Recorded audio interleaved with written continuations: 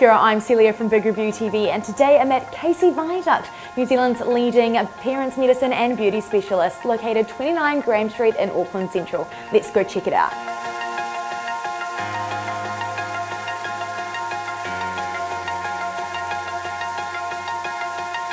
So I'm currently inside one of the beauty rooms here at Caci Viaduct and it's a really calm, quiet and relaxing atmosphere.